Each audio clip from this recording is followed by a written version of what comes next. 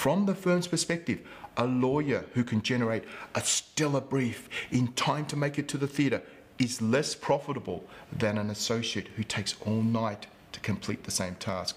You might be the most efficient person in the office, but the way the law firms are set up, that efficiency is not rewarded.